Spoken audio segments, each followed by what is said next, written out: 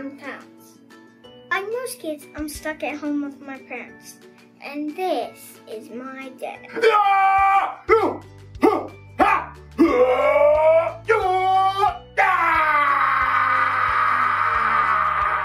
See, my dad gets real crazy about selling t-shirts.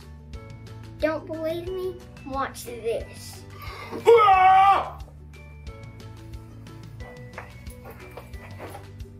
And this. See, I'm on the precipice of reality, and reality is t-shirt sales. I'm on the precipice of something real, and that is a t-shirt.